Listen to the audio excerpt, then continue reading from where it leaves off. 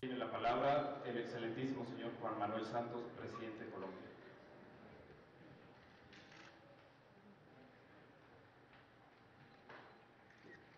Muy, muy buenos días a todos, Presidenta Bachelet y a los directores de las organizaciones que hacen hoy este importante informe, a todos los saludos y especialmente a Francisco Curría, nuestro secretario de la OCDE, Enrique García de la CAF, a nuestra querida amiga Alicia Bárcena, a Luis Alberto Moreno, a nuestra nueva secretaria de la SEGIP, Rodrigo Grinspan y al señor secretario de Relaciones Exteriores de México. Me han dicho que brevemente haga algunos comentarios sobre el informe que han preparado estas organizaciones, la OCDE, la CEPAL y la CAF, en colaboración del BID, pero principalmente estas tres estas tres organizaciones que está contenida en un resumen se llama Perspectivas Económicas de América Latina en el año 2015. Eh, Ángel Gurría me dio este informe para que leyera ayer por la noche, me lo leí con mucho cuidado y la verdad es que eh, tocan, eh, tocan, tocan todos los temas relevantes y, hacen un análisis muy pormenorizado de, lo, de, los retos, de las dificultades y los retos que vamos a tener en América Latina en eh, los próximos meses y años. Realmente el trabajo es un, un muy buen resumen, cuáles han sido las dificultades que se han presentado después de, diría yo, un, una época bastante positiva de crecimiento en la región, muy preocupante que por primera vez en mucho tiempo eh, América Latina va a crecer por debajo del promedio de los países de la OCDE. Eso quiere decir que eh, estamos en dificultades eh, relativas y también de dificultades absolutas porque muchos de los países no van a tener un crecimiento adecuado para satisfacer esa creciente demanda de necesidades que tenemos los países de América Latina. Eh, hacen una distinción, como debe hacerse siempre. Hay algunos países que les va mejor que otros, no se puede generalizar, pero sí hay unos comunes denominadores que todos debemos tener muy en cuenta. Eh, hacen énfasis en el tema de de la educación, relacionado esto con el tema de la, de, la, desigualdad, que es uno de los problemas que tenemos nosotros eh, serios en el continente, que lo hemos tenido y que no hemos podido resolver. Así, algunos países podamos presentar indicadores positivos. Por otro lado, eh, mucho énfasis en el tema obvio, el tema además de esta cumbre, que es el tema de la educación, y yo eh, destacaría en ese tema un problema es, especial que sería muy bueno que pudiéramos profundizar y es el tema de la falta de competencias laborales. Eh, ese sí es un cuello de botella eh, muy complejo, estando o no en un ciclo de crecimiento bajo o alto si nosotros no hacemos un esfuerzo mucho más efectivo en mejorar nuestras competencias laborales, nos vamos a quedar rezagados frente al resto del mundo. Entonces, todo el tema de la educación, y en la educación incluyo no solamente la educación normal, básica, media, educación superior, sino muy particularmente en la educación técnica y tecnológica. Y ahí es otro de los frentes donde América Latina tiene que hacer unos esfuerzos mucho mayores al resto del mundo para disminuir esa brecha que tenemos. Eh, en la mayoría de los países, en la educación superior, eh, que no es eh, la mejor en el sentido de cobertura. Muy, mucha gente todavía no tiene acceso a esa educación superior, pero la composición entre educación universitaria y, educación eh, técnica y tecnológica, eh, hay una tendencia en casi todos los países a que prevalezca la educación universitaria por encima de la técnica y tecnológica, como si, si, hacer, eh, si ser técnico o, tecnólogo fuera como de segunda categoría. Y eso, está, eso, eso no es lo apropiado, sobre todo en un mundo como el de hoy. Muchos países desarrollados, yo diría que el, ejemplo que yo uso siempre es Alemania. Eh, ahí la importancia de la educación técnica y tecnológica es, es evidente, eh, inclusive a través de los salarios. Y eso también tiene que ver mucho con la falta de cultura de la innovación. Sobre eso vamos a discutir esta mañana aquí en la cumbre. Eh, esa falta de cultura de la innovación también tiene mucho que ver con la composición de nuestra propia educación superior, que privilegia, o por lo menos hay una sensación entre los estudiantes eh, de querer em, estudiar ciencias sociales eh, a expensas de las otras ciencias que son las que más necesitamos en la región. O sea, esta, esta parte de las competencias laborales que tiene pues, muchos, eh, muchos ribetes y tiene muchos temas alrededor, es uno de los temas que a mí me parece que es eh, especialmente preocupante y especialmente relevante. Eh, la, la, desigualdad, que es un tema que se trata con, con mucha, mucho tino y, con mucho realismo. Somos países muy desiguales, con un gran reto. Eh, me parece que han debido darle un poco más de énfasis a la primera infancia. La primera infancia, lo dicen todos los economistas, los expertos en desarrollo, es tal vez la inversión social más rentable que puede tener cualquier país. Y en América Latina, en general, en Colombia es un, un ejemplo, hemos abandonado mucho la importancia de la primera infancia como factor de igualdad. Y, la importancia es evidente los niños que recién nacidos que no son debidamente atendidos, cuidados, bien tratados, bien alimentados, llegan a la edad escolar eh, en una desventaja que se perpetúa en el tiempo. Y por eso la inversión más importante que puede ser un país, si quiere mayor igualdad, es la primera infancia y por ahí hay que comenzar. De nada, de nada eh, nos vale que tengamos una educación gratuita, educación media, básica y media, eh, o inclusive acceso a la educación superior gratuita y buena calidad, si descuidamos ese aspecto de la primera infancia. Eh, y el otro tema que quisiera resaltar, porque son muchos los temas que tratan en el informe, tiene que ver con la parte eh, macroeconómica y, lo que cualquier gobernante tiene que eh, estar pendiente de los diferentes factores que nos permiten afrontar los ciclos económicos. Ahí los economistas o los eh, filósofos dicen que hay cosas inevitables en la vida, los impuestos y la muerte. Pues yo diría que también los ciclos económicos. Los ciclos económicos son una constante y hay que saberlos afrontar y saber qué vienen. Em, y ahí voy a referirme al caso colombiano. Nosotros vamos a ser uno de los países que más vamos a crecer este año.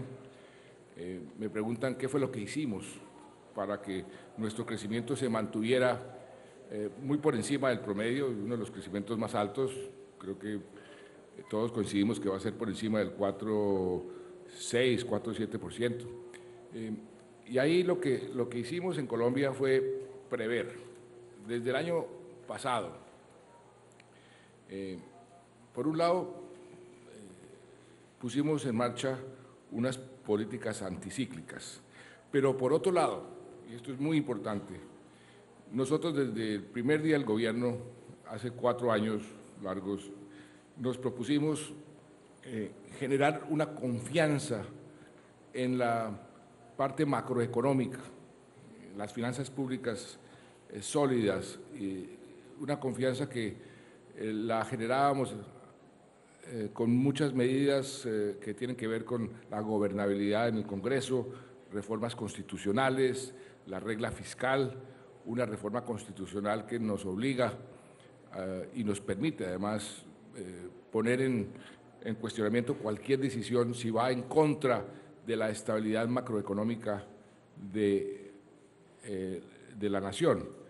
Y eso tiene una razón política muy, muy, eh, muy importante que creo que es bueno que América Latina la, la pueda eh, socializar más.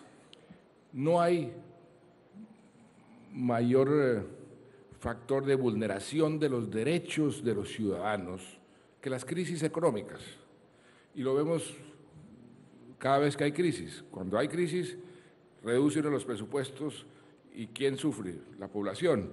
Y hay que reducir los presupuestos de la salud, de, eh, de la educación. Entonces, esos derechos fundamentales de la ciudadanía, que es lo que todos queremos defender, se vulneran y en forma grave con las crisis económicas que en el caso de América Latina, y ahí el informe lo dice con mucha precisión, eh, son más volátiles.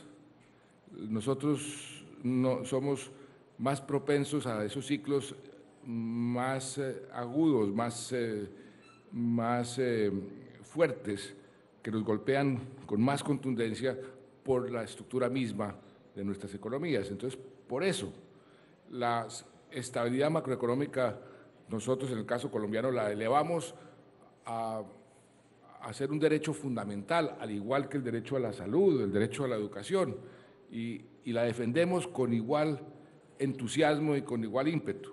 Y eso nos ha servido para atenuar los ciclos. Y aparte de eso hemos puesto en marcha eh, políticas anticíclicas de aquellos sectores que sabemos que tienen una, eh, un impacto importante en la demanda de la economía, especialmente en el caso colombiano, la vivienda. Hicimos unos programas de vivienda masivos que en el caso Colombia, de, Colombia jalonan 32 industrias. El, el caso de la infraestructura, unas inversiones muy grandes en materia de infraestructura eh, y también irrigamos eh, recursos en aquellos sectores que tienen una, eh, un impacto en la demanda muy rápido. Por ejemplo, en el caso colombiano, el sector cafetero. Sigue siendo Colombia un país con un sector cafetero muy importante y el ingreso cafetero inmediatamente se irriga en el resto de la economía. Entonces, ese tipo de medidas anticíclicas, combinadas con, un, una visión de más largo plazo de estabilidad y solidez macroeconómica sirve de gran amortiguador para eh, el tipo de ciclos que nos están afectando en este momento y, en el caso colombiano pues eso ha funcionado.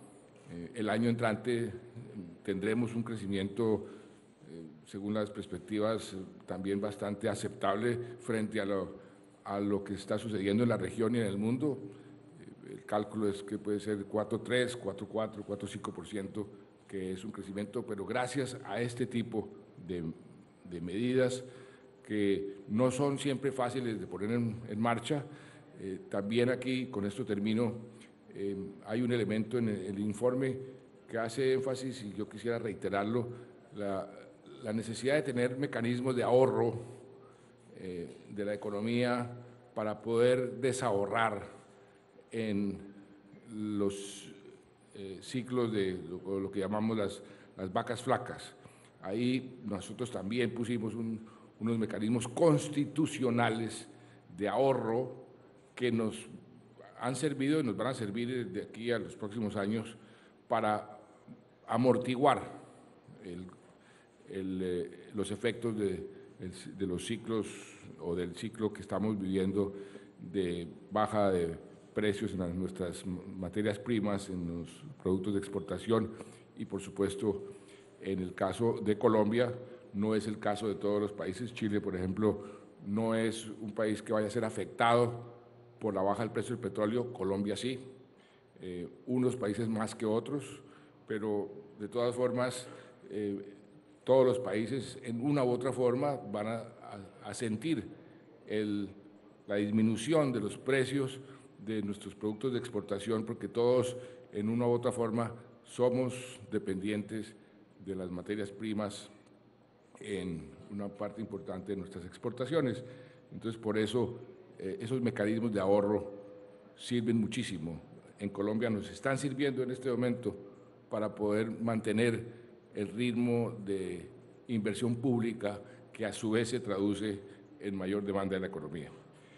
Yo no quiero extenderme más, el informe, como le digo, eh, Ángel no me dejó dormir mucho anoche, porque son, son todos temas muy importantes, todos temas muy bien tratados y todos temas, temas relevantes en este momento, pero quería simplemente hacer referencia sobre esos tres puntos en particular. Muchas gracias.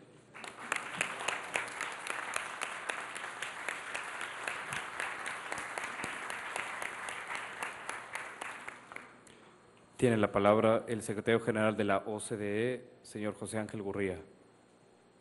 Señora Presidenta Bachelet, señor Presidente Santos, secretario MID, eh, Rebeca Alicia, Enrique, Luis Alberto, eh, José Miguel Insulza, que es eh, de los clásicos también, pero creía que se iba más temprano y por eso hoy no está aquí y don Enrique Iglesias, que fue quien lanzó estos esfuerzos. A todos, eh, muchísimas gracias por acompañarnos.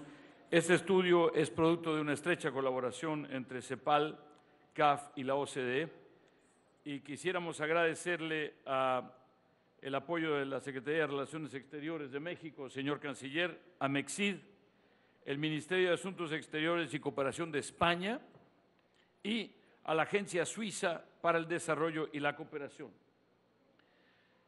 Quisiéramos además agradecerle a los autores, a Mario Pezzini, a Ángel Melguizo, Luis Padilla y a los equipos que contribuyeron a armar el paquete. Los temas que abordamos en estos estudios están sintonizados con el tema de la cumbre. Por eso lo hemos enfocado en educación, competencias e innovación para el desarrollo, un triángulo crucial para el crecimiento incluyente y sustentable de nuestras sociedades. Estamos eh, en una fase de desaceleración, efectivamente, como lo mencionaba el presidente Santos, después de una fase de impresionante expansión, por cierto, y eh, como se mencionó, será el primer año en que el crecimiento promedio de la América Latina esté por debajo del crecimiento promedio de la OCDE.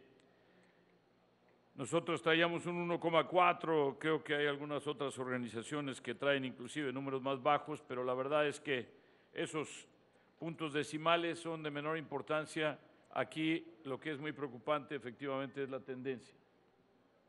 Más allá de la coyuntura, la pregunta clave es si estamos en presencia de un ajuste permanente en la capacidad de crecimiento potencial de la región, es decir, un cambio de estructura, un cambio de tendencia. Y aquí el análisis nos dice que sí. Nosotros tuvimos crecimientos potenciales hasta de 5% en la región. Y ahora lo que los números nos dicen es que estamos más cerca como del 3, que si todo lo hacemos bien y todo nos sale bien y hacemos toda la secuenciación y toda la el reforzamiento simultáneo de las políticas, podemos aspirar a tener un crecimiento promedio como del 3. Y después del 3 ya empezaríamos a tener problemas de inflaciones o de...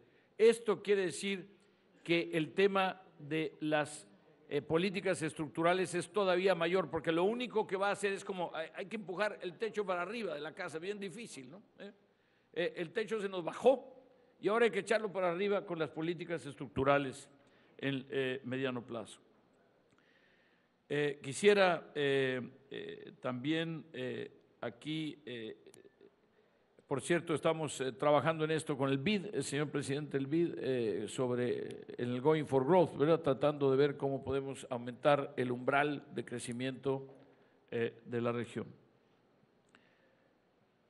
A pesar de los avances de los últimos años, cerca de un tercio de la población de América Latina sigue viviendo en, en condiciones de pobreza y de informalidad. Somos además la región más desigual del mundo la única región cuyo coeficiente de Gini, que es el que mide la desigualdad, se encuentra alrededor del 0,5, que es un rango de muy alta desigualdad. Esta situación explica las recientes movilizaciones y las tensiones sociales en muchos de los países de la región y también refleja la erosión de la confianza en las instituciones públicas, en los partidos políticos, en la democracia misma. Es muy preocupante que menos del 40% de los latinoamericanos estén satisfechos con el funcionamiento de la democracia, de su democracia. Por estas razones a los países de América Latina les urge echar a andar una nueva ola de reformas estructurales que le permitan aumentar su productividad, mejorar su competitividad y construir economías más incluyentes y más sustentables.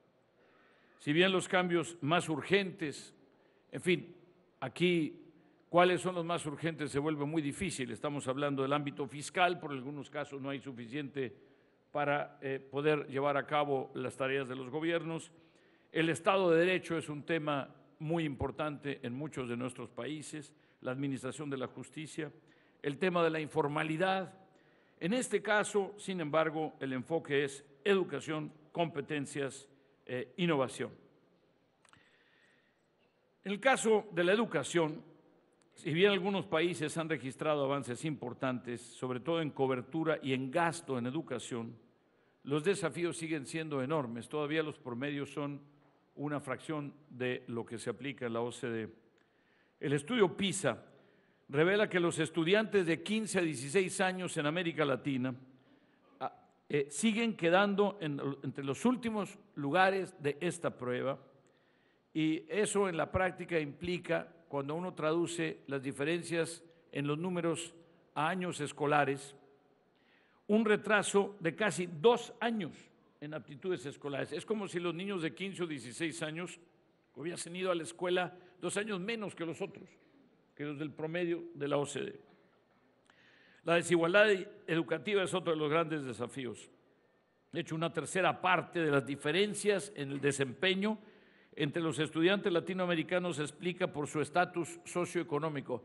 Y esto es absolutamente grave, delicado, porque quiere decir que se están prolongando en el tiempo las vulnerabilidades socioeconómicas de las familias en lugar de romper el vínculo para entonces que dependa el desempeño de los jóvenes exclusivamente de su esfuerzo y de su talento. Tienen esa carga. Para enfrentar los desafíos educativos, el estudio propone aumentar la cobertura de la educación temprana, lo decía el señor presidente Santos con mucho énfasis, fomentar las inversiones que benefician a los estudiantes más desfavorecidos, mejorar los mecanismos de acreditación de profesores de enseñanza secundaria y terciaria, medidas para mejorar la gobernabilidad, la distribución, la eficiencia y transparencia en el uso de los recursos de las escuelas. Y algunas cosas así muy prácticas que caracterizan los mejores sistemas, como por ejemplo, ¿es posible mandar a los mejores profesores a las peores escuelas para que en el tiempo se vayan emparejando las cosas? El estatus en la sociedad de los profesores, la remuneración relativa de los profesores. ¿Qué nivel de ambición determina en términos de, por ejemplo, en Finlandia, en donde la remuneración y el estatus social es parecido al de cualquier profesionista, mientras que en los países nuestros no es el caso?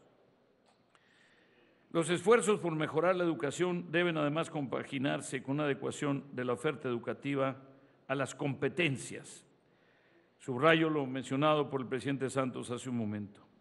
América Latina es una de las regiones con mayores problemas para atender la demanda de competencias de su tejido empresarial.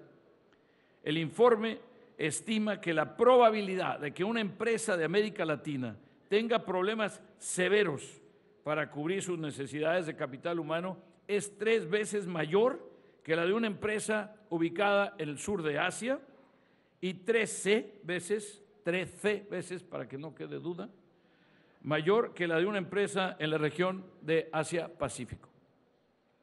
El bajo desempeño de las competencias en América Latina explica en gran parte la baja productividad y el lento crecimiento del PIB per cápita con respecto a otras economías. Si bien el 28% de la diferencia del PIB per cápita de América Latina se explica por los años de escolaridad respecto de países de la OCDE, cuando se agrega el desempeño de competencias, competencias quiero decir habilidades, destrezas, el capital humano explica el 60% de este rezago. Para mejorar la conexión entre la oferta y la demanda de competencias, es fundamental desarrollar y fortalecer los sistemas de formación técnica y profesional. Ello requiere marcos de calificaciones para el reconocimiento de competencias, es decir, la certificación cruzada de las competencias, el reconocimiento de las habilidades eh, de, la fuerza de trabajo e involucrar al sector privado eh, en la información y eh, desarrollo de la oferta y la demanda de dichas competencias. Estamos impulsando con varios países de la región estrategias de competencias y quiero decirles aquí que esto no es un asunto nuestro. Hoy estamos trabajando con una comisión interministerial en España, dirigida por el ministro de Educación, para atender el tema de competencias en España y lo estamos haciendo también en Portugal bajo la coordinación de la ministra Albuquerque. Es decir, en los países más desarrollados relativamente el tema de las competencias es un desafío muy importante. Y el tercer elemento es la innovación. Aquí este tema de las cifras ya es casi, casi un cliché, pero hay que seguirlo repitiendo porque a base de repetirlo a lo mejor podemos superar el problema. Si nosotros le ponemos valor a la innovación en términos del PIB de nuestros países, en el caso de eh, la América Latina estamos hablando de 13%, mientras que el promedio no OCDE sería más del doble, como 30%. Y luego el gasto bruto, países como Chile, como México, eh, alrededor del 0,5 por ahí. Pero además, eh, el hecho de que el sector privado, la presidenta Bachelet mencionaba ayer el tema de la participación relativa del sector privado en la innovación. Normalmente debe ser como dos tercios, pero de 2%, de 3%. Aquí es menos de la mitad del 0,5%. Aquí el problema es que esas diferencias se van acumulando año con año el 2, el 3% del PIB de diferencia en términos de innovación que se va haciendo un enorme, enorme, eh, eh, una enorme acumulación en el tiempo.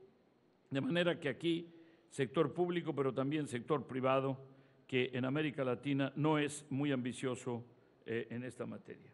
De manera que quisiéramos, eh, señores presidentes, señoras y, señores, em, eh, decirles que claramente estos son algunos de los temas más importantes para que América Latina eh, recupere productividad, competitividad y crecimiento. Yo le propondría, señor presidente Santos, además que en los próximos dos años, en preparación de la próxima SEGIF, este sea uno de los temas que, que podamos trabajar inclusive a nivel de país por país eh, este estos, esta troika y por otro lado decirles eh, que cuenten con nosotros, todos ustedes a nivel individual, pero también que la cooperación con las otras instituciones eh, la sigamos practicando con objeto de poder abordar estos temas más complejos. Hoy lo que estamos viendo es que América Latina se nos está quedando atrás. Tuvimos una cierta complacencia en el periodo de la crisis porque parecía que habíamos tenido una mejor crisis.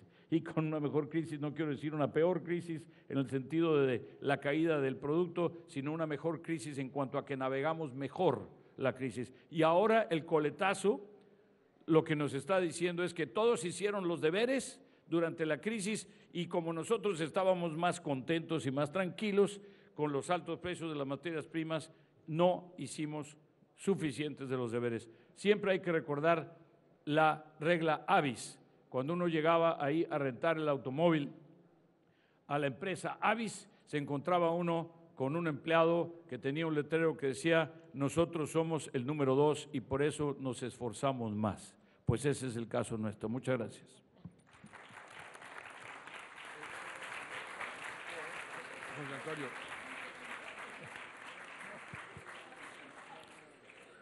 Tiene la palabra la secretaria ejecutiva de la CEPAL, la señora Alicia Bárcena. Yo quería, yo quería eh, meter la cucharada nuevamente por algo que dijo Ángel Gurría para ver si Alicia o Enrique, como coautores de este informe, eh, pudiésemos eh, de alguna forma eh, responder a- al, siguiente dilema o esta paradoja. El informe, como decía Ángel, dice que ustedes creen que el descenso en el ritmo de crecimiento es de- es- no es coyuntural, sino definitivo, es estructural. Eh, pero al mismo tiempo, y, y quiero darle ese, ese énfasis un poco optimista de- con esa filosofía china de que las crisis o los problemas se pueden convertir en oportunidades, aquí hay dos elementos que el mismo informe menciona con, con eh, mucho énfasis. Nuestra relativa baja productividad y la desigualdad. Ahí tenemos dos elementos que si los abordamos se convierten en un factor de crecimiento económico muy por encima del resto del mundo. Si logramos, por ejemplo, aumentar nuestra productividad a un ritmo normal o si podemos seguir sacando gente de la pobreza hacia la clase media que se vuelvan consumidores, el potencial de crecimiento de esos dos fenómenos, productividad y desigualdad, se puede convertir en, un gran, en una gran oportunidad para crecer a tasas más altas que el promedio mundial, sin lugar a dudas. Entonces, eh, ese énfasis en, en- en el- en las soluciones a ciertos problemas nos puede sacar de ese de esa especie de trampa en que nos vamos a, a meter de un crecimiento eh, relativamente lento. Creo que ese es un tema que sería bueno que lo mencionaran. Alicia. Pues muchas gracias, presidente. En realidad, usted nos plantea un desafío muy importante. Yo quiero también saludarlo a usted, presidente Santos, a la presidenta Bachelet, al canciller de México, eh, José Antonio Mid. Gracias por su gran eh, calidez y anfitrionía. A Rebeca, Ángel, Enrique, los Enríquez, el bueno y el malo, como les dicen, este, a José Miguel y a mi propio Mario Chimoli, que también es otro de los autores. Dos italianos juntos, olvídense. Ese es el informe. Bueno, presidente, América Latina no aprovechó suficientemente el periodo de bonanza. Esa es la verdad. Creo que América Latina pudo haber hecho mucho más para invertir, eh, para realmente hacer de esta variable, la inversión, el principal puente entre el corto y el mediano plazo. A su pregunta, ¿qué puede hacer América Latina hoy? Yo creo que tenemos una situación heterogénea. Eh, nosotros decimos que, y estamos peor que la OCDE, nunca antes, ¿eh? La CEPAL con cifras más bajas que la OCDE, pero así es, 1.1, ¿por qué? Por tres economías, Argentina, Venezuela y Brasil. Su economía crece mejor. Chile, un crecimiento mediano, pero crece. Entonces, hay, yo diría que en la región hay economías que tienen espacio. Lo que ya no va a volver, yo creo, es ese auge exportador que tuvimos por varios años. El, comercio se desaceleró. En 2011 teníamos 23% de- del valor del comercio, hoy es 0.8. O sea, ese motor está por lo menos volando bajo. El consumo volando bajo, porque hay menos financiamiento, hay menos voluntad de endeudamiento, en fin. Pero la variable inversión, eso es lo que ha permitido que economías como la de usted, la de Ecuador, la de Bolivia, hayan logrado crecer un poquito mejor que el resto de la región. Aparte los hidrocarburos, sin duda, eh, eh, los buenos precios en su momento, que ahora están muy malos. Pero yo creo que lo que hay que hacer, y eso es lo que CEPAL propone, es apuntalar la inversión. Con el espacio que tengan los países en lo fiscal y en lo monetario, hay que apuntalar la inversión. Y hay que orientar la inversión a infraestructura, no cabe duda, pero sí a la formación de capacidades y de competencias endógenas. Ahí es donde está nuestro gran problema. Y yo creo que en este informe lo que hemos tratado de mostrar es que no son tres temas separados. No es verdad que educación por acá, productividad por acá, innovación por allá. No. Los tres son realmente eslabones, pero solamente va a ser virtuoso este eslabonamiento si logramos la transformación de la estructura productiva. Cuando los precios de las materias primas son altos, no hay incentivos para transformar la estructura productiva. Y tampoco la demanda de capacidades es una demanda de mucha innovación, francamente. Entonces, ahí es donde está la clave del momento de hoy.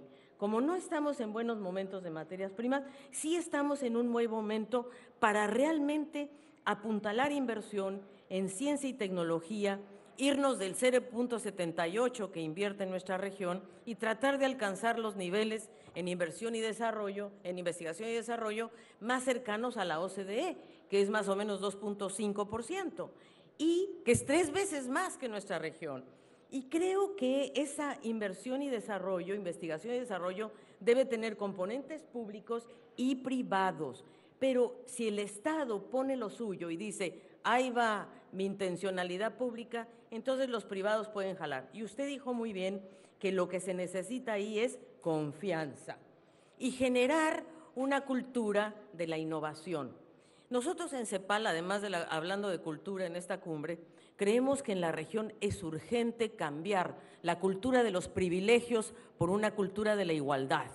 Y eso requiere lo que nosotros le llamamos una ciudadanía fiscal, es decir, que el que más tiene pague sus impuestos, porque la única forma de que el Estado va a poder reaccionar y responder a este desafío de inversión, de educación, de innovación, es pagando impuestos.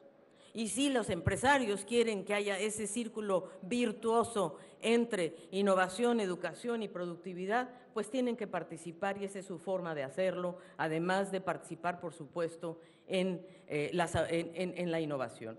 Nosotros en este informe hemos destacado los rostros de la desigualdad, presidente. Usted tiene razón. Y en este informe estamos expresando la desigualdad entre América Latina y los países de la OCDE. ¿Qué brecha tenemos nosotros respecto a la OCDE? Y segundo, las brechas hacia adentro de nuestros países. Y para muestra basta un botón. Fíjense, en la preprimaria, presidenta Bachelet, que usted ha sido una súper abogada de la de la, de la escuela preprimaria, usted tiene razón, de la preescolar, pero en América Latina tenemos una cobertura de 66% en la preprimaria versus 83% en la OCDE. En la primaria, en la, perdón, en la, en la primaria estamos más o menos en la misma, ¿verdad? Nosotros con mucho menos calidad, ¿verdad? Pero cobertura más o menos. En la secundaria, en la OCDE, digo, en la, la, América Latina, 74%, mientras que la OCDE tiene 91% nosotros también decimos en este informe y en otros más que la, educación secundaria es el puente de la juventud para transitar a otro nivel y poderse tener más capacidades para absorber el progreso técnico, como decía Raúl Previs. Y en la terciaria, que es donde queremos igualar más, la, la América Latina tiene un 42% versus el 71% de la OCDE. Entonces, y en nuestras desigualdades internas, nada más para darles un ejemplo, la verdad es que el primer quintil, o sea, el quintil más rico, tiene acceso a la educación terciaria un 56% de las personas más ricas del primer quintil. Pero el quintil más pobre, solamente el 9% llega a la educación secundaria o universitaria. Allí tenemos un problema. Entonces, la otra desigualdad, esta es la desigualdad educativa. Ahora vamos a ver, en la desigualdad de la innovación, por primera vez nosotros, presidente, y eso podemos hacerlo para los próximos dos años con ustedes, estamos presentando unos indicadores, porque cuando hablamos de innovación, pues ¿de qué estamos hablando? Es decir, a ver, ¿cómo le decimos a la gente qué quiere decir innovación en la práctica? Entonces, en la práctica nosotros estamos diciendo que, que un indicador muy importante es la intensidad de conocimiento en la estructura productiva. ¿Y cómo se mide la intensidad de conocimiento en la estructura productiva? Bueno, un indicador son las patentes, otro indicador son las ingenierías, los recursos humanos. Entonces, hay que medirlo, hay que medir cuál es la intensidad de conocimiento en nuestra estructura productiva para saber cuánto nos falta y dónde tenemos que apretar las tuercas. El segundo indicador que estamos presentando en este informe es cómo se mide el stock, el acervo de capital de innovación. Fíjense ustedes que nosotros no sabemos cuál es nuestro acervo de, stock de innovación pero nosotros ya presentamos una cifra preliminar en este libro y decimos que América Latina tiene un 13% de acervo de stock de innovación versus el 30% de la OCDE. Pero no solamente la cifra es importante, sino la estructura. Resulta que el acervo de innovación en América Latina está en la educación terciaria, en las universidades. Pero el acervo en la OCDE está en investigación y desarrollo, es decir, en patentes, en tecnologías, en ese stock que nos hace tanta falta a una región como la nuestra, que somos tomadores y copiadores de tecnología. Y también hicimos otros indicadores muy importantes de cuánto contribuye la inversión extranjera directa ¿eh? a la innovación, cuánto nos ofrece la inversión que viene a nuestra región, nos está trayendo nuevas tecnologías o no, ¿Nos está trayendo empleo o no? ¿Nos está trayendo innovación o no? Y para que seamos más selectivos de la inversión extranjera que estamos recibiendo, ¿verdad? Tenemos que tener una arquitectura refundada en nuestros países, políticas públicas activas para tener una arquitectura institucional que nos permita discriminar claramente para dónde vamos. Y esto en algunos países se traduce en política industrial, ¿verdad? En otros en política de ciencia y tecnología, pero se requiere una arquitectura. Y también hacemos unos indicadores que creo que van a ser interesantísimos si los podemos desarrollar por país, por sector, por firmas, de la relación entre la competencia, la innovación y el aumento de la productividad. Eso que me parece fundamental. Y cómo, cómo alertamos, cómo logramos que el progreso técnico no se convierta en una variable que desiguale, desigualadora. Ah, sí, ahí está el super TIC, ¿no?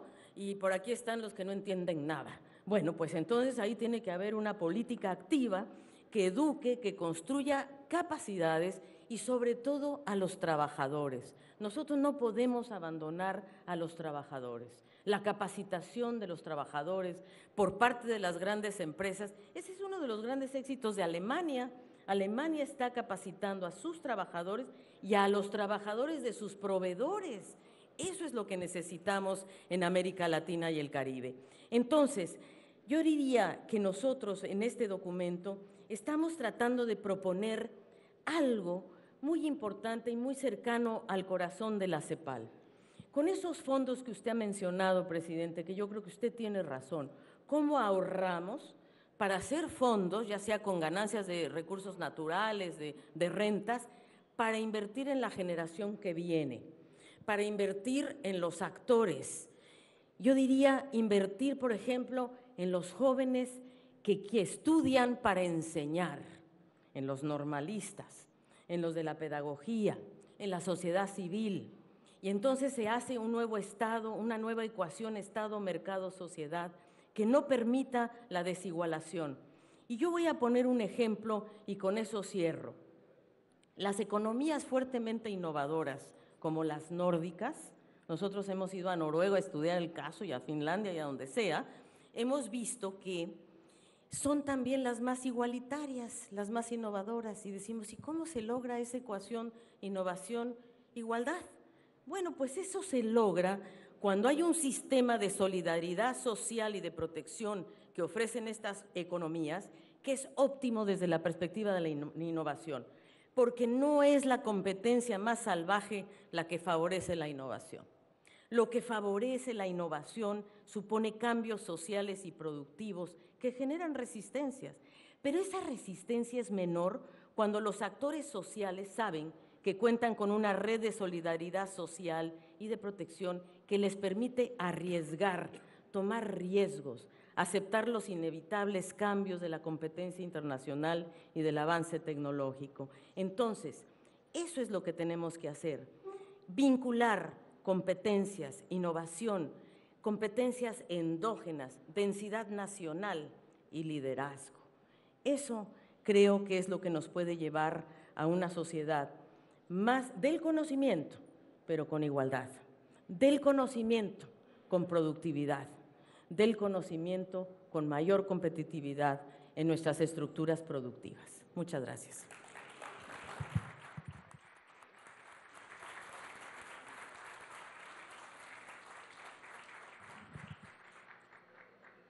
Tiene la palabra el presidente de la CAF, el señor Enrique García. Muchas gracias. Perdón, eh, eh, me, me están comentando que la presidenta Bachelet Sí. tiene una reunión bilateral eh, inmediatamente, casi inmediatamente, eh, ahora. Entonces, eh, quería yo ver si, si podíamos eh, quizá pasar la palabra a ella primero. Lo que digo. Sí. Muchas gracias.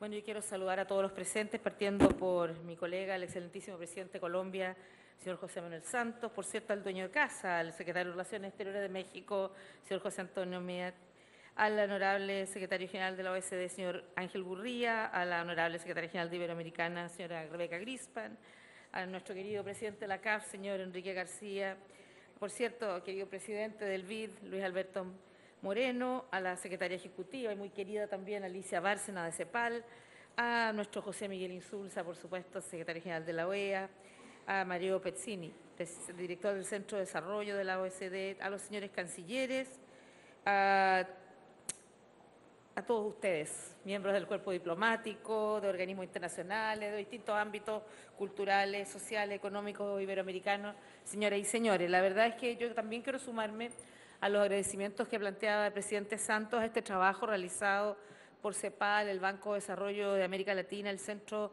de Desarrollo de la OSD, porque permite, como hemos escuchado acá, entregar una visión conjunta de las perspectivas económicas de América Latina, pero por sobre todas las cosas yo creo que lo que permite, y esa es la riqueza de este documento que espero no quede aquí, vamos a hacer también un lanzamiento probablemente en Chile para América Latina, porque creemos que es importante porque permite un debate, un debate profundo de lo que está pasando en nuestra economía y cuáles son las, las tareas y lo que podemos hacer.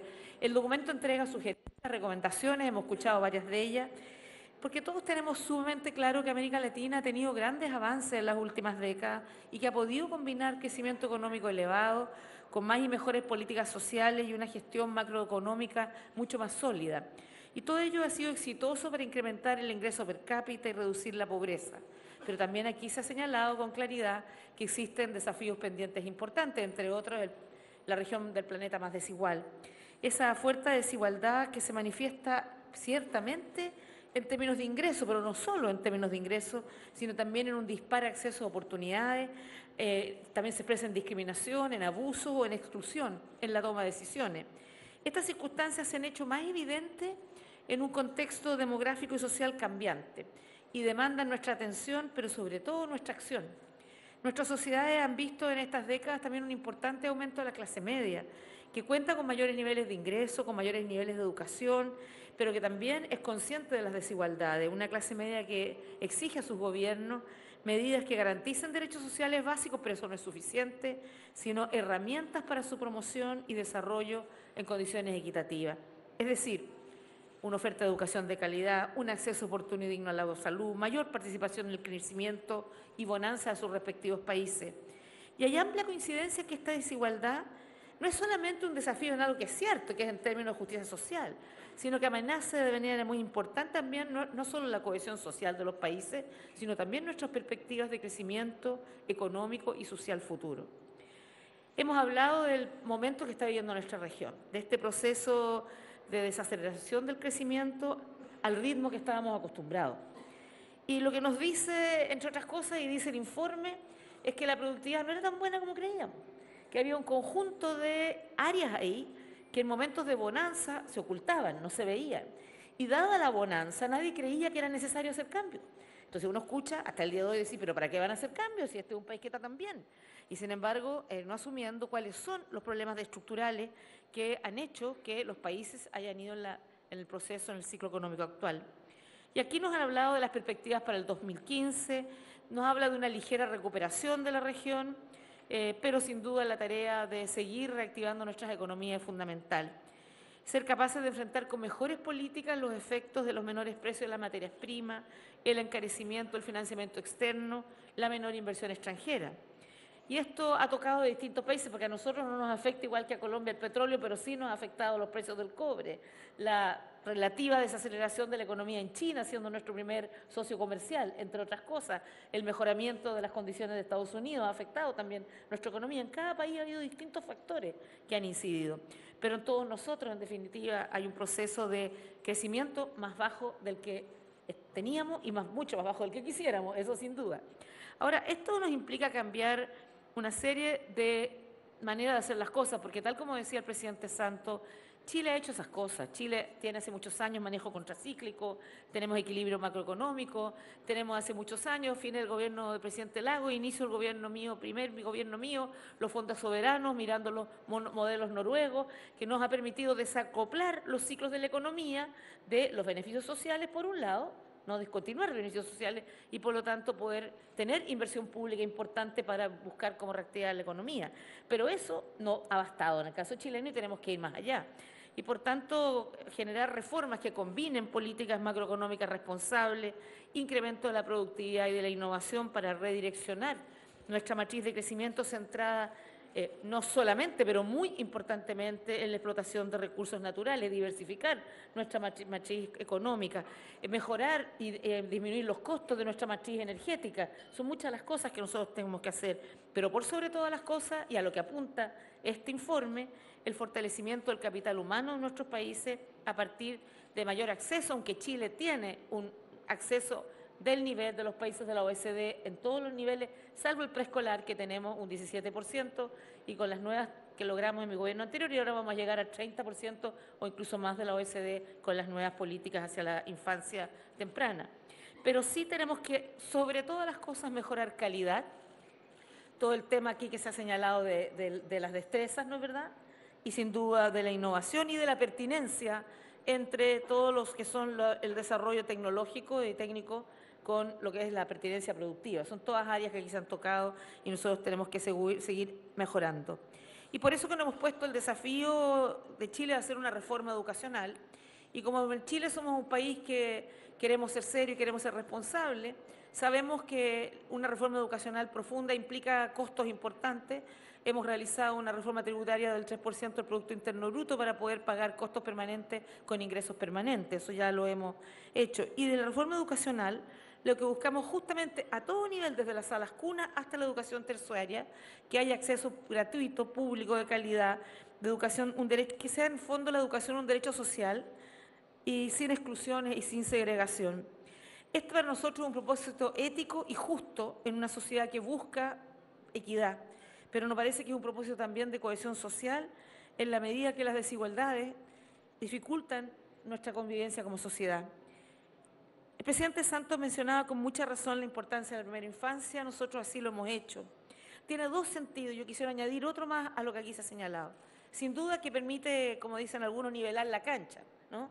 Aquellos que nacen en una cuna de origen muy desigualitaria le permite tener acceso a muchas oportunidades. Pero fíjense que estamos hablando y más tarde va- vamos a tener una, una sesión plenaria sobre el tema de la innovación. Y tendemos a mirar la innovación en muchas cosas que hay que hacer de todas maneras, que es, qué sé yo, políticas, políticas de parques tecnológicos, mucha, ciencia, mucha tecnología, mucha ingeniería. Pero todo eso no va a ser suficiente si no somos capaces además de generar una verdadera cultura de la innovación. Y eso significa mirar, remirar cómo educamos nosotros. Porque para innovar se requiere aceptar la diversidad. Para innovar se requiere tener la habilidad para asumir el riesgo, porque buenas ideas pueden ser exitosas o pueden fracasar. Pero cuando la educación lo que lleva es a generar la idea de que el fracaso es el desastre, la verdad que no incentiva la mirada más cre- creativa e innovadora. La creatividad, lo colectivo versus la competencia, lo decía Alicia. en la creatividad y hoy día hay muchos ejemplos de gente que ha hecho cosas extraordinarias en el ámbito de la robótica, en que por el contrario tienen líneas de redes abiertas completamente y que se comparte todo el conocimiento, porque no es posible que una sola persona tenga el conocimiento. Entonces, es remirar también la educación. Y lo que dicen los expertos de educación es que esto no puede partir en el colegio. Tiene que partir en la primera infancia para que de manera sea una manera distinta de aproximarse a, las preguntas y, y- y contestarse las respuestas. Ahora, pero también aparte de ser un problema ético, moral, importante y justo, es un propósito económico y laboral de largo plazo, es una apuesta para transformar las bases sobre las que descansa nuestro camino al desarrollo y prepararnos adecuadamente para interactuar en las cadenas de valor global con una economía basada en el conocimiento, como aquí se ha dicho. Yo creo que ahí está la apuesta para aumentar nuestra productividad y competitividad más allá de lo que nos permite actualmente nuestra matriz basada en materias primas. Sabemos que esto no es solo un desafío para Chile, es un desafío para todas las naciones de nuestra región. Ya lo decía eh, Ángel Gurría, que incluso estaba trabajando el área de las destrezas con España y Portugal. Y creo que también es una tremenda oportunidad para enfrentarlo de manera articulada y de manera de una mayor integración regional. Porque así como eh, es verdad que cuando salimos al comercio exterior muchas veces nuestros productos compiten, pero también lo hemos conversado muchas veces tanto en la Alianza del Pacífico como en el contexto de los países APEC u otros, es que hay ahí un mercado grande en el cual todos podemos caber y todos podemos tener un, buen nivel, un buen nivel de desempeño. Por eso, si compartimos diagnósticos comunes, tenemos que ser capaces también de desarrollar vías de solución conjunta que permita proyectar un desarrollo sostenible en el tiempo para que la región tenga mayor justicia y equidad. Finalmente, quiero decir que tal como aquí se ha dicho, las tareas de crecimiento económico y de enfrentar la desigualdad, o como se está diciendo en algunos sectores hoy día, crecimiento con prosperidad compartida, como veíamos en un seminario el día viernes en, Chile, creo que son objetivos que corren de la mano, que se retroalimentan y que permiten proyectar un desarrollo en el que todos y todas los ciudadanos y ciudadanas somos parte. Y yo en este sentido cierro diciendo que creo que este informe es un aporte inestimable, pródigo en experiencia y recomendaciones, y un desafío que es claramente no otra cosa que la oportunidad histórica para nuestros pueblos, que es de atacar de raíz las diferencias que han acompañado a nuestros países por demasiado tiempo y apuntar a lo que necesitamos, que es un desarrollo sólido, un desarrollo integral, que tenga finalmente impacto positivo en la vida de todas y todos. Como yo siempre digo en mi país, felices de tener buenas cifras económicas, que felices que tenemos un producto, eh, un, per cápita PPP cercano a los 22 mil dólares. Pero cuando yo voy a una población, la gente me dice, ¿y dónde estarán mis otros 22, 21.500? Porque a mi casa no han llegado. Y eso es lo que queremos, un lugar donde todos podamos vivir mejor. Muchas gracias.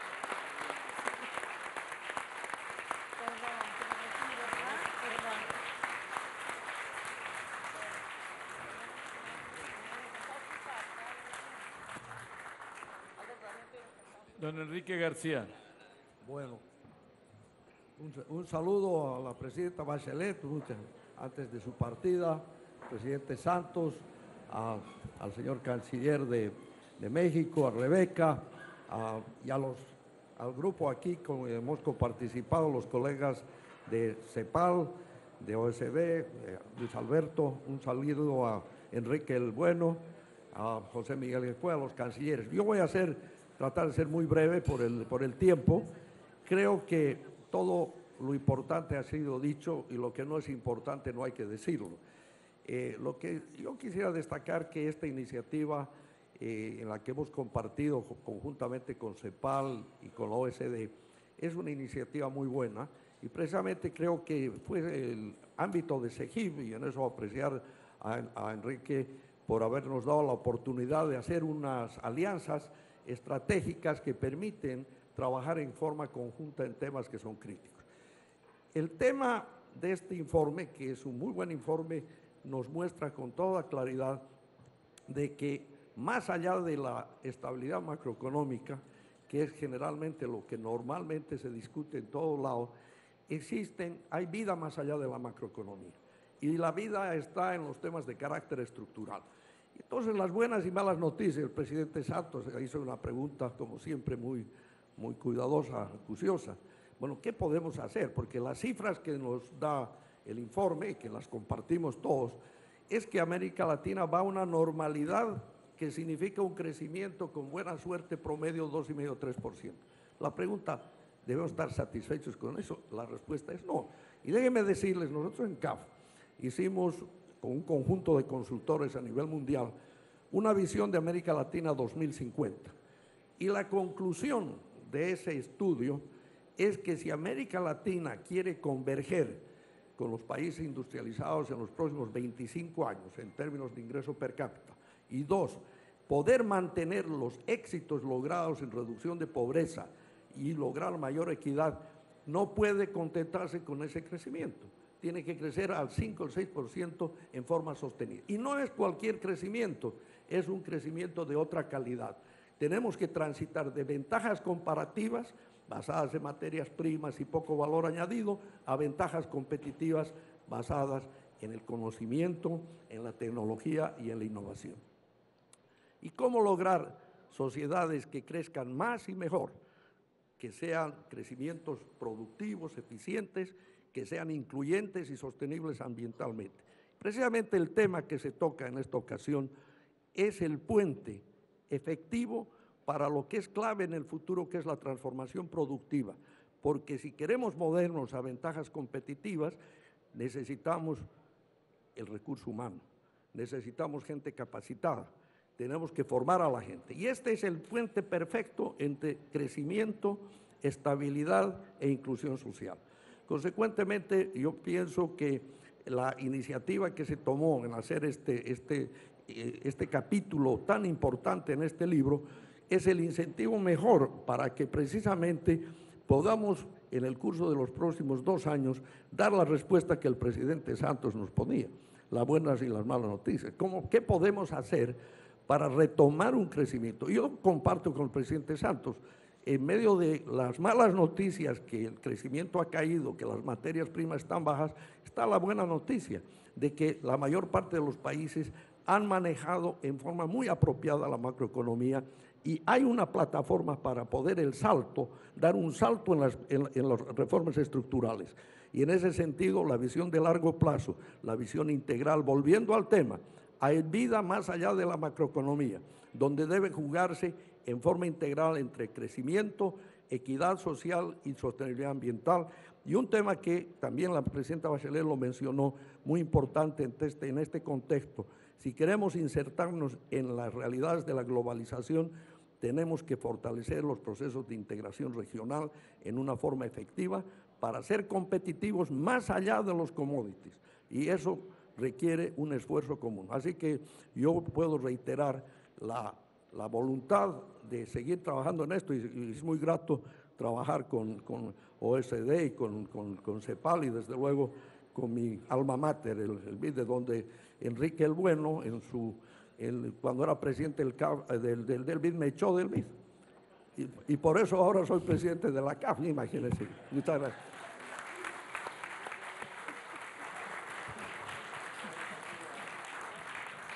E, esa provocación la vamos a dejar sin respuesta. Señor presidente Luis Alberto Moreno del Banco Interamericano de Desarrollo, tiene usted la palabra. Eh, muchas gracias Ángel, señor presidente Santos, señor secretario eh, Mid, Rebeca, Alicia, eh, Enrique, José Miguel y eh, Enrique el Bueno, como se le dice aquí. Yo, yo que es muy difícil agregar algo más a lo que se ha dicho y creo que por la hora simplemente yo quiero concentrarme en un tema que está en el informe y es el tema de la innovación. Pero antes de hacer eso, para responder un poco la pregunta que nos hacía el presidente Santos, simplemente diría lo siguiente. Si América Latina tuviere un crecimiento de productividad igual al que tiene un país como los Estados Unidos, nuestras economías hoy crecerían al doble de lo que crecen. De allí que la reforma que su gobierno hizo, por ejemplo, alrededor de cómo crear los incentivos correctos para la formalización. Pero no solamente eso, es, es que productividad es la productividad de los factores de la producción y allí el balance entre capital humano y capital físico es fundamental. Y en este entorno en que es evidente del informe, no de que estemos en una crisis, sino que por el contrario en un ciclo de contracción que está afectando al mundo entero, eh, encontrar las formas de crecimiento son las que son fundamentales. Y quisiera aquí, sobre el tema de innovación, hacerme esta pregunta. Nosotros tenemos muchas virtudes, pero uno se pregunta por qué no tenemos el, el Messi eh, de la biotecnología, o el James de la nano- nanotecnología, o el Neymar de la robótica. Y como muy sabiamente me recordaba el otro día Enrique Iglesias en este mundo de la disrupción, ¿por qué no también a Suárez? Pero dicho eso, eh, ¿qué es lo que pasa? Y el sistema de innovación, cuando uno estudia los sistemas de innovación, por ejemplo en Silicon Valley el más reconocido, es el fino balance que existe entre la educación, entre los sistemas de financiamiento a la innovación, llámese los, sobre todo los fondos de capital de riesgo, y por último, la interacción entre los emprendedores. Y uno de los temas que tenemos en América Latina, lamentablemente, es que aquel que fracasa, la sociedad tiende a condenarlo al fracaso. Y por el contrario, en el mundo de la innovación y el de la tecnología, el fracaso es un factor de aprendizaje que conduce al éxito en la medida que se acumula justamente ese aprendizaje. Parece que ese es un tema que obliga, creo yo, a celebrar, de la misma manera que celebramos el éxito de nuestros futbolistas, a celebrar el éxito de nuestros emprendedores. Y de allí que, digamos, en la parte analítica está claro, por ejemplo, en un país como Chile, eh, tiene, que es un gran productor de, como todos sabemos, de, de cobre, países como Canadá y Australia tienen algo así como 20 científicos más por tonelada métrica de producción. O en un país como Colombia, el 75% de los emprendedores o de las empresas hacen prácticamente cero en innovación. Y ahí entonces radica yo creo que uno de nuestros mayores retos, que sin duda está conectado con las competencias.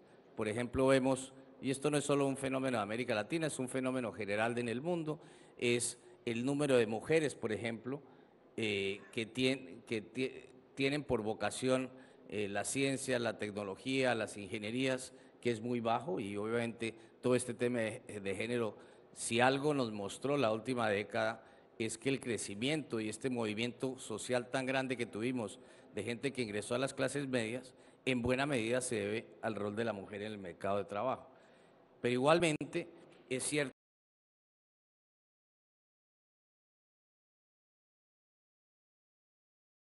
y teníamos balance de género hasta que se fue la presidenta Bachelet, pero en todo caso, eh, el punto es que ese nexo que existe entre las competencias, como nos recordaba el presidente Santos, yo he visto encuestas, por ejemplo, de todas las empresas que eh, hacen eh, como eh, labor profesional las buscas de talento. Y hay cientos de empresas en América Latina que no están consiguiendo hoy en día el talento que necesitan.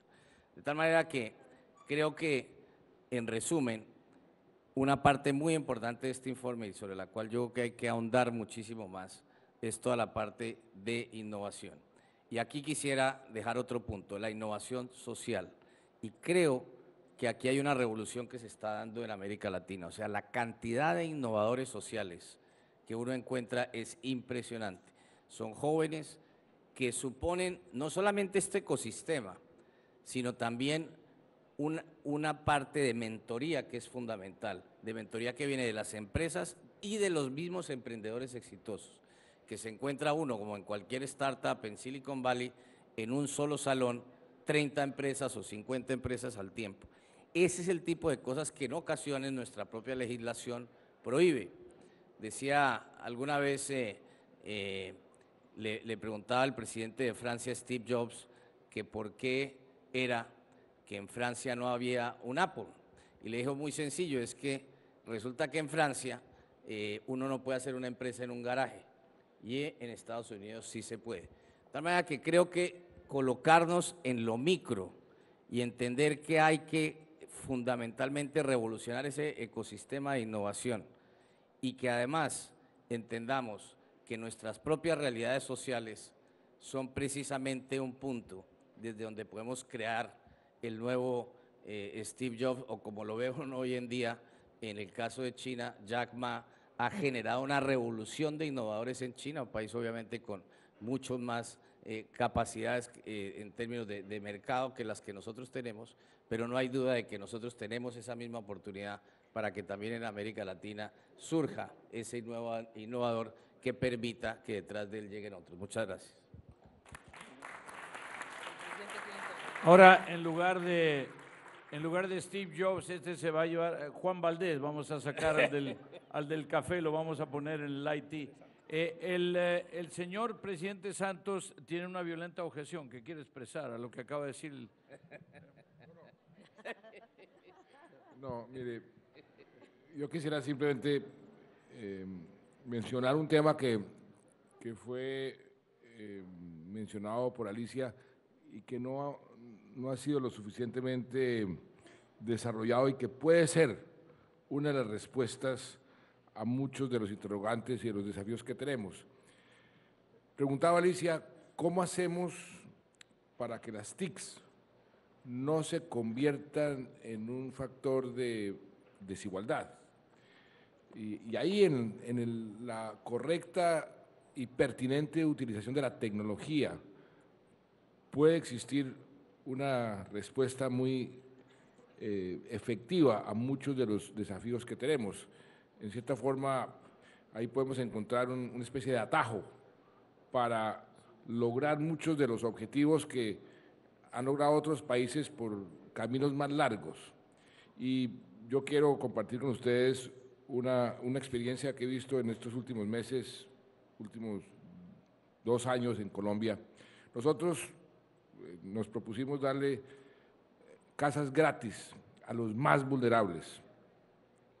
Una política cuestionada por algunos, que lo gratis no funciona. Nosotros decidimos darle casas gratis a los que realmente nunca han soñado con una casa. Y hemos, vamos a entregar al final de este año 100 mil ya casas. Y a cada casa le estamos poniendo internet gratis y le estamos regalando una tableta. Pues resulta que cuando uno comienza a decirle a la gente, eh, va a tener casa, va a tener internet y sus hijos van a poder tener el mismo acceso a ese maravilloso mundo de la tecnología que cada día cambia más y cada día se nos abre más. El mismo acceso que tienen los niños ricos en Bogotá, o los niños ricos en Miami, o los niños ricos en París o en Tokio, el mismo acceso. Eh, La gente se transforma y quedan más entusiasmados con eso que con la propia casa. Es, es impresionante, aplauden más ese aspecto que la propia casa.